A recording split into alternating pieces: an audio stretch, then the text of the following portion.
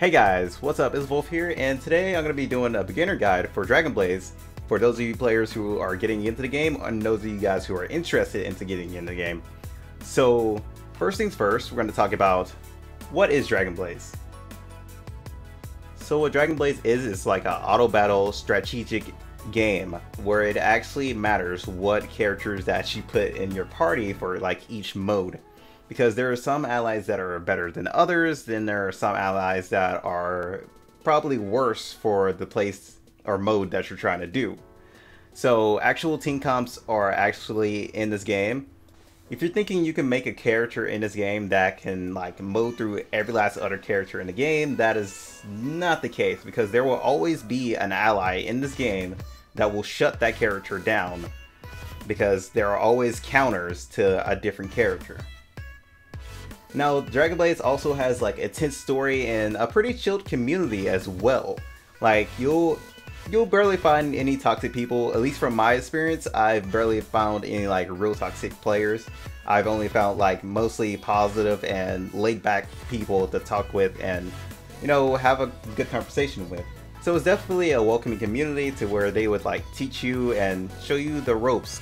So with the introduction out of the way, let's get to talking about allies and how you guys make them and pretty much how they work in this game. So let's go ahead and talk about allies. First things first, we're going to talk about the stages of allies. So the first is normal, which are the weakest allies in the game. Then you turn those normal allies into deifies. Then as those deifies are created, then you have to use the deifies to make keys. And keys are used to make Transcendents, which are the strongest units in the game as of right now. Alright, next we're going to talk about the different stages of enhancement. Now, this is going to be mostly the bread and butter of the game. This is going to be mostly the thing you're going to be doing a lot in this game. So your goal is to get your allies to max, then ultimate. But, as for any unit that is below triple S, you should not get to ultimate. If anything, keep every other ally that is double S and down to max. There is no need for them to be ultimate. So before that, I'm going to talk about how many enhancement it takes to get an ally to max. So each rank has their own set number to max. So let's go through this list here. C rank allies take 3 enhancements to get to max. B allies take 4 enhancements. A is 5 enhancements.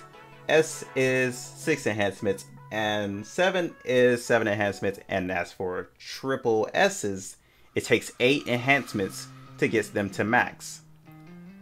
But, at this point, when your triple S is max, you want to make them ultimate, which I'm going to show an example of right here.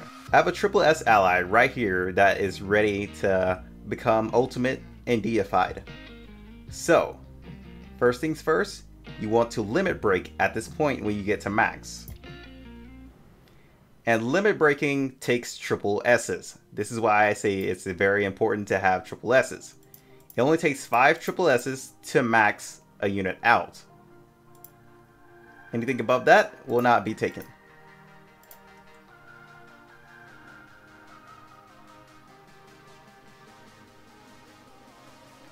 And now that this triple S ally is ultimate, this is going to lead us into our next segment. So this is where we start getting into deifying an ally into allies that are pretty much the main characters of the game. So, to deify a unit, when they get to ultimate, you need a resource called Essence. These Essence are pretty easy to get. They're farmable from different like areas throughout the map. So the first group of Essence you're gonna run into are the Light Essence and the light essence are pretty much going to be in chapter 1 through 2. And then there's going to be hero essence that you guys encounter halfway through chapter 3. Then in chapter 4, there is going to be Titan essence. So as you guys can see, each character that you guys are trying to make take different types of essence. So both of these guys take light essence, but this character takes Titan essence. So so let's go ahead and start deifying this character, which is a warrior. So before that, let me explain how you guys get a certain ally if you guys are looking for whichever one. So, to make the warrior deifies, you have to have a warrior ultimate. So I have this warrior ultimate, I can make these characters who are warriors. Boom, she is achieved. Now, if I was to make a rogue character, I would have a different pick. Now, here's something important to remember. So let's go back to a warrior. As you guys can see, Gala is no longer available through these guys because we have already because we already have her deified. So there would be no point in making another one. She is no longer a choice. But as you guys saw in here, there's no other choices between these two. But there are certain characters in the game that require themselves to be deified into a different one. So you can only get Refuge King Graham through his standard normal, if you get what I'm saying. And then there's another character, this character, Pata, that you can only get through his normal as well. So that should clear up a lot of like confusion of like how you get a certain character because some of you can only deify through their set characters. So now you have your deify character. So here's the fun part. You're gonna have to ultimate her again. So yeah, go to enhancement. Now here is going to be a little bit different making her ultimate. So each enhancement costs you one essence and I do mean one. It's not like I'm going to use multiple essence for deifies. So it's pretty much repeating the same process as the normal enhancements, but this time you have to have essence for it. And I repeat, do not use any triple S like allies to get any of the other triple S allies to max. If anything, I recommend you guys use double S's or S ranks to get the triple S's to max. Then you're going to need those triple S's to get her to ultimate because when they're max, they only take triple S's. Alright, the next thing we're going to get into is combining units. Combining units is going to be very important. The ally has to be maxed and be combined with another max ally. So this is the reason why I tell you guys not to ultimate the allies because they do not have to be ultimate to combine. So as you guys can see, I have two max allies with me right now. Well, three if you're counting this one. But as I go into the combine, these two only show up. The rest of them do not, just because they don't meet the requirements. So it'd be pretty useless to actually try and, you know, try and combine them. So, here we go. That is how you make a triple S unit. And that's how you go up the ranks through like the others. Then if we were to go into the uh, S ranks, then we're gonna have to max out two S ranks to make a double S. So you guys see how that process is going with combining.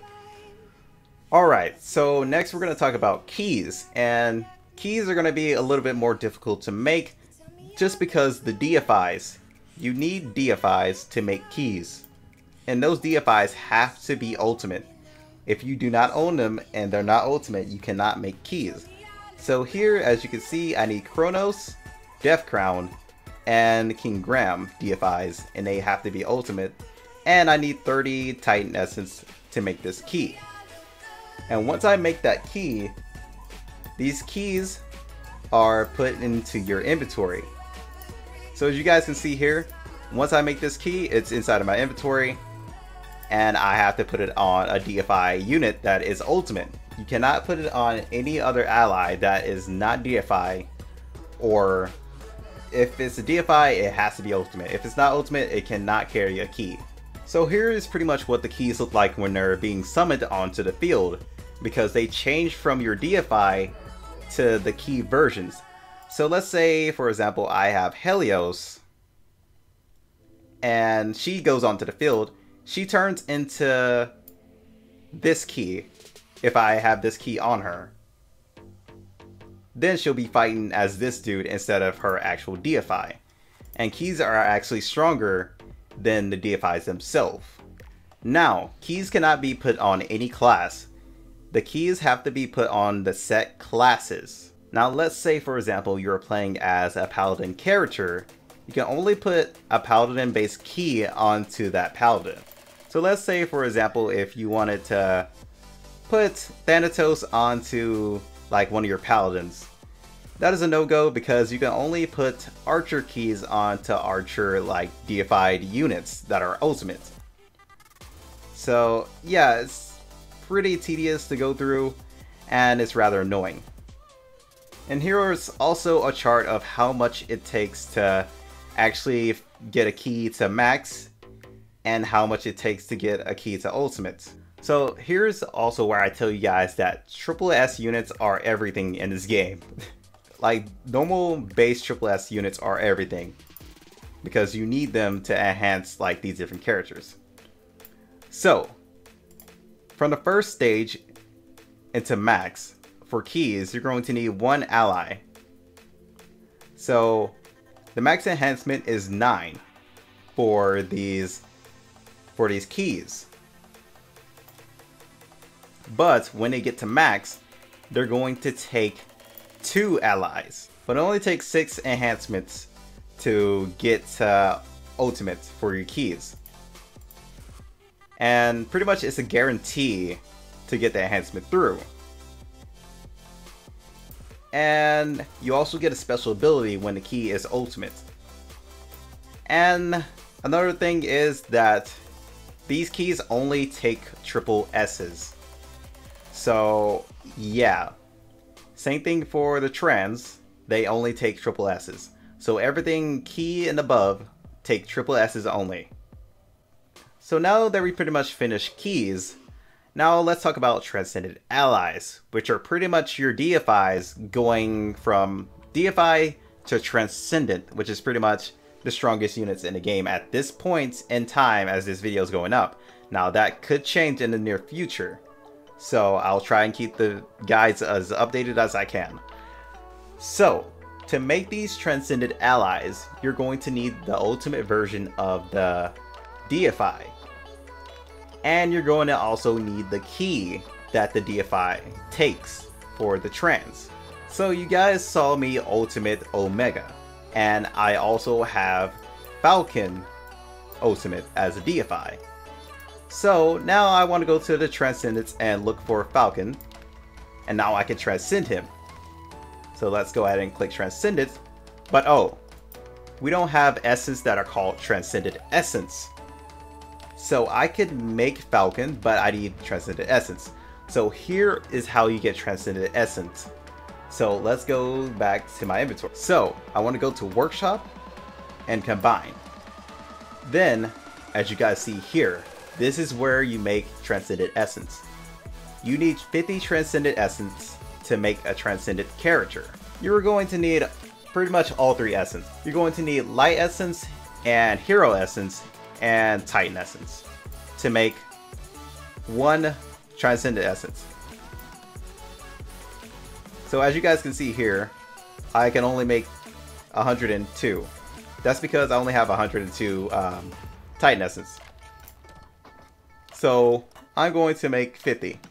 Just because that's how many Falcon needs to be trans. Boom.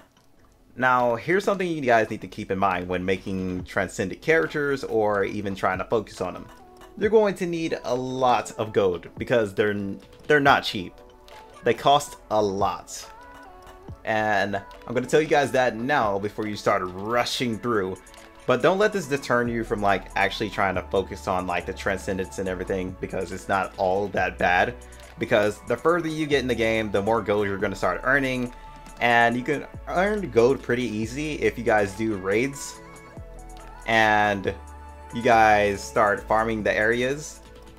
Because the higher the area the more the gold you get.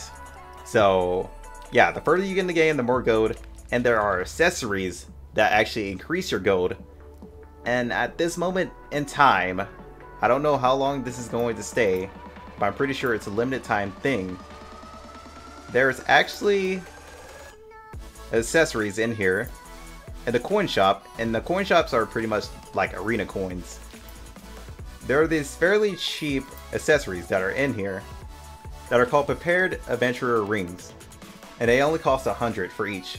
Now these go on your main character, they do not go on your ally at all. Do not put them on your allies, put them on your character, so just buy at least two or three just to pretty much make sure they're not like limited time things. If I were you, I would get them right away. Alright, so let's get back to the trans and how to make them. So, it's going to cost a lot of gold. I've already warned you guys that it's going to cost a lot. It's going to cost a lot. So I already have my gold prepared. Thank God for those um, accessories because over the nights of farming, they have helped me out. So, but before you start making the trans ally, there is something you guys need to note. Your deify will disappear when making the trans. But you can make the deify again, so it's not completely off the table. So I'm going to show you guys pretty much an example of that. So, let's go ahead and make Trans Falcon. Alright, let's make him. Now it does remove it from like all other slots and everything. Now I got him. So he does remove from all the modes just because I won't have the deify anymore. As you can see, he's gone. But I can make him again. Where is the Paladin to show an example? Pretty sure I got one Paladin, right? No? Oh, well, can't really show an example then. But just to let you guys know, you can remake him again. So, now that I have him, I can level him up, put gears on him, and I'm to go into explanation of some more things right afterward. So, that is pretty much how to make a Transcendent unit, though. Alright, so next we're going to talk about linking your characters. So this is going to be extremely helpful into conserving like farming. So I don't have any gears on Trans Falcon. No gears at all. As you guys can see, he's completely empty. But now let's go to Helios and look at her gear. Now, what? let's say if I wanted to link all these gears up with Helios and put them on Falcon while they're still on Helios. Linking is definitely going to help. This little chain right here, just click it, go in, and I'm going to take this out just to show you guys. So pretty much I'm going to put in Helios into the first slot because she has the gears on her. So I want to put the gears on the Falcon and I'm going to show you guys pretty much how this actually works. Boom. All the gear that is linked up with Helios is now linked up with Falcon. And now he has and now he can use her gear. And yes, you could put them in the same squad and they would still be using the same gear from each other. So, yeah, that's a unique thing, and I thank them for uh, actually putting that in. Now I need to go put in everybody else back, back in. And now you see the little link symbol to tell you if they're linked up. Now we're going to talk about the last thing of allies. And this is going to be formations. Formations are very important for your characters as well as they give buffs that will help you out. So the most used one I can say right now is Fire Squad but you have to have a team dedicated to Fire Squad. So each formation has their own different like needs. So the formation's ability won't activate unless you have everybody that fills out the roles.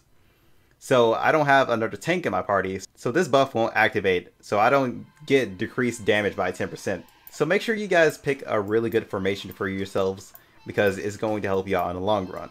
If anything, the most used one I know is Fire Squad.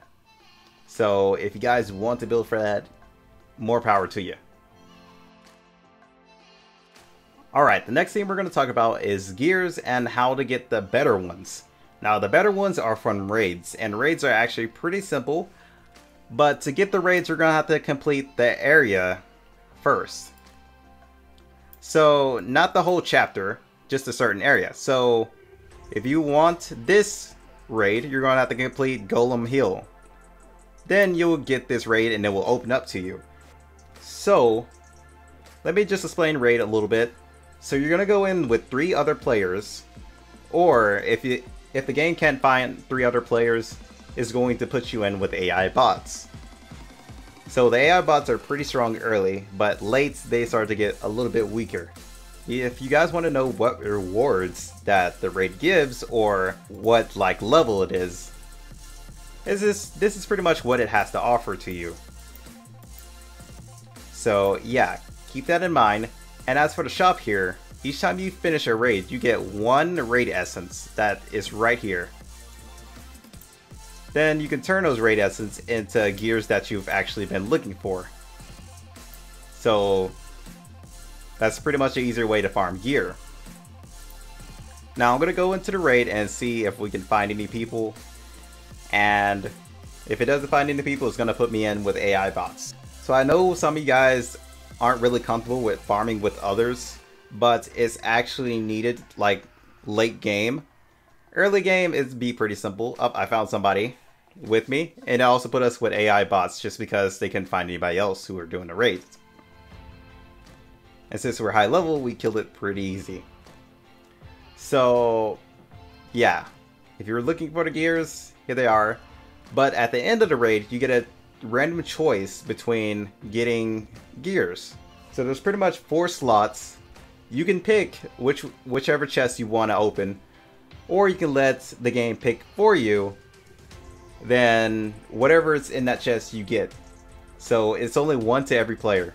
So that's pretty much how Raid works. That's pretty much how you get better gear. You just put your hands inside of like the farming gods and hope that you get a gear that you need. And even if you don't get the gear that you need, the more times you complete it, the more raid essence you have, then you can just go directly to it. So next we're going to talk about enhancing your weapon. So enhancing your weapons is pretty easy. You click on the weapon you want to enhance, go to enhance, then this is where everything starts to get like a little bit pricey, not too pricey, not as pricey as the trans, but this is where you have to put in like different other gears to make them stronger. So early game you can only make your gears max because late game is where you can start making your gears ultimate and I'll show you guys the reason why after I show you guys how to do this. So you can put triple S's into triple S's to get them to max or if you have any like double S's laying over you can go ahead and get that 50-50% chance of getting you know like an enhancement off a triple S.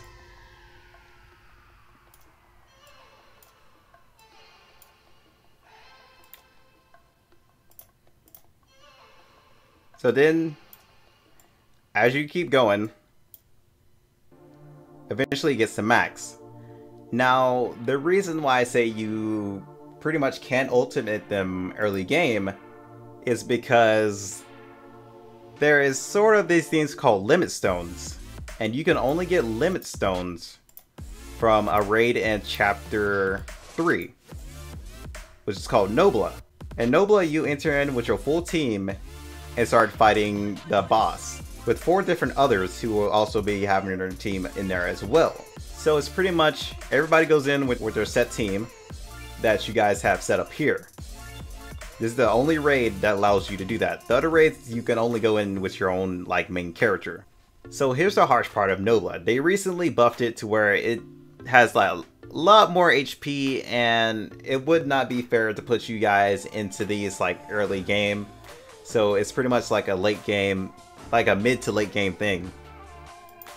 And your team's gonna die pretty fast. So here are the rewards, and this is where it's kind of harsh on newer players or players who are just getting into the game and doesn't have like really powerful units. Whoever's doing the most damage and is at first has a chance to get a S rank through triple S rank limit break stones. If you are lower, you can only get uh, S rank or a double S limit break stone.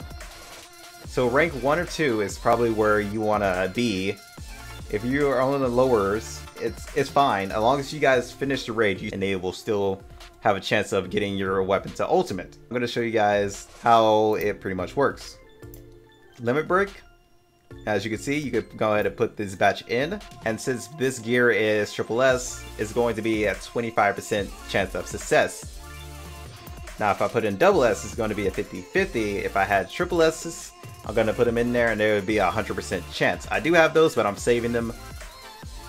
Let's go ahead and show you guys how it works. The cost does go up the more and more like you pretty much succeed. So it's pretty costly, but like I've said, is not as costly as making trans. So you're in luck there.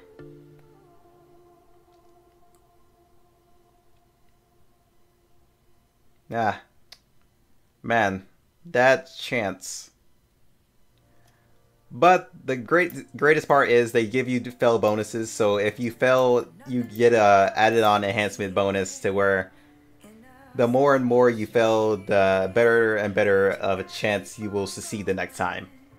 So next we're going to talk about gems. Gems are pretty important because they have main stats on them. And those main stats are strength, intelligence, dex, and stamina. Now, here's where I tell you guys what those like will probably more than likely be on. Your intelligence gems will probably want to be on mages and incanters. For your dex will probably be on your rogues and your archers. As for strength will probably be on your paladins and warrior. But sometimes there are special chance where there can be allies that work different with like a different like gem so let's take example as Camille. She is a paladin. So what people have said is that she benefits more from intelligence than strength. So yeah, you got to basically read the skills and you know just decide on pretty much which one is better for which ally. Or you can just ask around the community and they will help you out as much as they can. And yes, you can combine from like lower tiers to make them to higher tiers. Combining them will make them higher and way stronger and just make them like pretty much all more useful to you. The lower ones won't be all that strong. I do recommend you guys keep enhancing them up until they at least get to triple S. Then if you guys have any leftover like triple S's, go ahead and start making them to it's the stars. And they will help you out so much more. And how you put them on your weapon is click on the weapon you want them on, go to this gem here, and drag them over. And then you put them on, but it takes gold to take them off. You can put them on for free, but you take but you have to take them off for a cost. Alright, next we're gonna get into skill cards. Skill cards they cannot go on your main character. They can only go on allies. Because allies are the only ones who can take those passives. So there are pretty much different stages of these um, skill cards. And you can combine them to make them into stronger skill cards. The highest skill card is triple skill cards. But here's the thing, it takes four S's to make a double S. And it takes four to make a triple S, and it takes four to make an ultimate skill card. And then you can turn those ultimate skill cards into double skill cards. Double skill cards have like, double skill cards are pretty much this. They have two effects on them. The normal skill cards just pretty much have one stat. So you have a chance of like getting different ones. They're not all like set and like combine this and you make a certain card, they're pretty much all random as you combine them. So if you wanted to make a triple skill card, I'm going to put myself out for this. And you drag this over to here, drag both of your doubles. Then once they're securely in there, you go to combine triple card to make a triple skill card. Then boom, pretty decent stats. Not something I would actually, you know, always want. So I pretty much unchecked it. If you don't check it, you will end up making another double. Or you have the chance of it falling back down to 8 ultimates. So pretty much combining two double S's has a chance of giving you another double S or it has a chance of going back down to our normal ultimates. So if you guys are trying to get to triple S's, make sure to have combined triple S checked. Then you get a guarantee of getting the triple skill card. Then once you get that triple skill card, you can go ahead and go to your character, go to their passives, then pick whichever one you want to be on them. Uh, I haven't really thought what I want on Falcon though. I'll choose a defensive one for now. Then I'll change it up later. And it does cost gold to put on to the allies as well. That pretty much explains pretty much everything about gear. Now we're going to talk about combat and different modes. The different modes are Arena, which is pretty much having your whole team go up against another team of other people's AI. Now, it's not live battle. If you guys want a live battle, there is tag battle, where it's pretty much a one-on-one of each character. Like you pick a team, and they pretty much go one-on-one at it, and you just keep going until the other team runs out of allies to fight with. Revenge of Bathar Pythagar? Yeah, I can never get that name right. I hope I got it right that time. Which is pretty much doing waves and seeing how long your team can survive. Next, you have Tower. As of right now, we have two different towers. One is Hero, where it uses regular allies, and one is Buster, where it can use keys and trans. Keys and trans are not allowed to be used inside of Hero mode. So, in the future, they will combine these two to where it really doesn't matter whatever you use. You can go in into the tower. But as you guys do tower, is going to give you guys various rewards. So I'm going to show you guys a few of the rewards here. Whenever it decides to load in the rewards. So each place you do, you get more and more rewards. So do make sure to do tower, guys. It's going to help you out a lot. Next, we have world bosses, which are pretty much straightforward. There's a flaming turtle, golem, hydra, and Cerberus. So world bosses, no matter if you're weak or strong, you always should do them. Because as long as you get rank up there, you get rubies and coins. So yeah. Then you guys have already seen um, boss raids. And then there's guild stuff, which is pretty much guild loot. Which is pretty much guild loot. If you have a guild, you go in and you work with your guild to finish all these stages. It's pretty much you have to participate in the area to get rewarded. If you don't participate in any way, you don't get rewarded. It doesn't matter how much damage you do to it, if it's like one point, you still participated in a way, and you get rubies for it when the team completes it. Now, you don't have to complete all the areas to get the rubies from it. As long as you complete that one area before the time is up for the main remaining days. For us, we already completed it, so we already got ours as soon as we were done. So complete it, the whole thing, and you get your rubies right then and there. If you're struggling with Area 1, uh, when the days remaining is over, you get pretty much the rubies from 2 and 5. You don't get anything from 1 since you didn't complete it. And as for guild battles, guild battles are a little bit more straightforward. You go in with your own team, and as for guild helper, you go in and pick whoever you want to uh, let other guild members use. So go out, exit, and it registers that character that you want other guild members to use in the guild battles. Now I put in random. Now here's just pretty much everybody else's characters that are part of the guild. Then you just pretty much go at it against other people who also have those strong, strong teams. This was a mistake. It's pretty much like No More Arena, but yet you have your guild members, allies to help you to make it a little bit more easier or, you know, at least put up a good fight.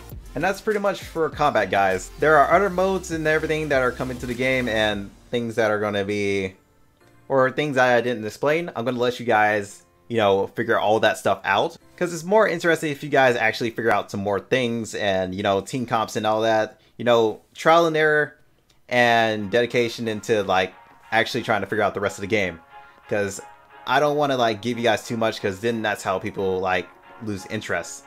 You know, I just pretty much taught you guys how to enhance and make different units and then farm gears. Everything else is for you guys to figure out. So with combat done and talked about, I'm going to leave you guys with three tips. But the first tip is do your dailies, which is down here in schedule. Do all the dailies because it gives you rubies, and that will help you out a lot. Sometimes they give you uh, coins, but doing your dailies gives you free essence. Then there's our special events where you guys can look in those, and the next one is always log in. All logins give you like a special reward. Log in 28 days and you get a free key or a choice between getting 10 allies and 100 essence. So always make sure to log in because if you don't get those 28 days within the month, so let's do an example and say you joined the game on the 15th. There is no way you're going to get the key from that month. But there are beginner guides when you come into the game where you can get a free trans and a free key.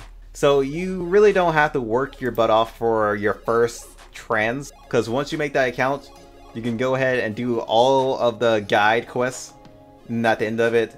Then at the end of it, you get that transcendent ally. And here's the last tip I'm going to give you guys before I end off the video. This is one that a lot of veteran players have told people not to do. And that's do not sell your allies. Do not sell your allies, guys. Combine them. I don't I don't care if you like get gold from them. It's minor gold compared to the gold you can farm. Do not sell allies. Combine them. Y you listen to me? Combine them. Do it. But hope this guy helped you guys out. You know, I've been working on this for the whole week, and you know, trying to get like a whole bunch of footage that I can put together for you guys. If you guys have any more like tips for the players down below, all the veteran players. And as for all the veteran players, if somebody's looking for some help, do make sure to like try and help them on this video. Or if I missed anything, do put it down in the comments, you know, help out a little bit.